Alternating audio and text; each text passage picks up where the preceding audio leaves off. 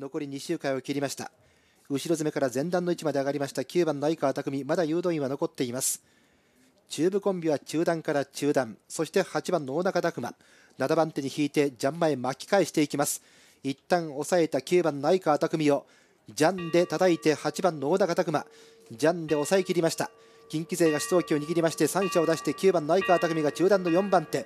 後方になった中部勢が前々を踏んでいきます。最終周回と向かっていきます。中段の4番手は9番の相川匠ながら追い上げてきました2番の山田裕也。山田裕也がここで4番手に入ってきまして短期1番の櫻井城も前々踏んでいます。2コーナー回ってバックへと向かいました。3番の山崎司はシビアに切り替えて今度は内をついていきます。先頭8番の大中拓磨マークは5番の坂本。3番手には6番の中畑正彦ながらこの後ろ4番手からの幕僚追い込みか。2番の山田裕也。4コーナー回って直線戦です。番手から5番の坂本が追い込んでくる。5番坂本2番の山田はどうやら2着。と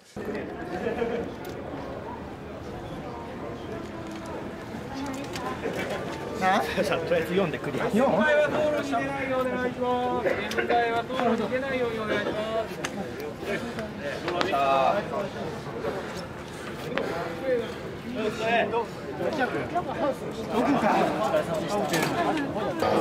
全然残せなかったただ山田さんが来たところはきっちりですかね、あの辺は。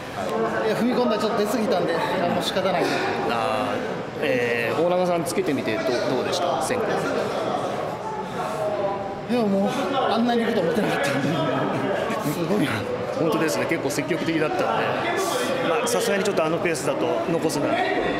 そうですね、ちょっと垂れてきたので、難しかった。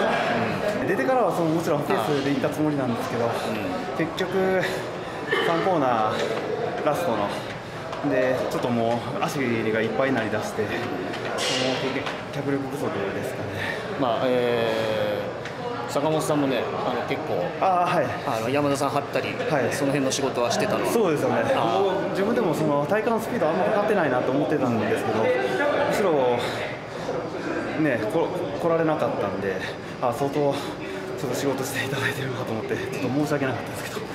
えーまあ、前でかけてみて、えー、バンクコンディション等々、えー、いかがでした？バンクコンディション自体はあの悪くないと思います、はい、まあ普段の松坂ね、多分。あそうそうですね、まあ、だいぶ、はい。まあ、あとはもう自分自身のコンディション合わせだけして、また明日頑張りたいと思います。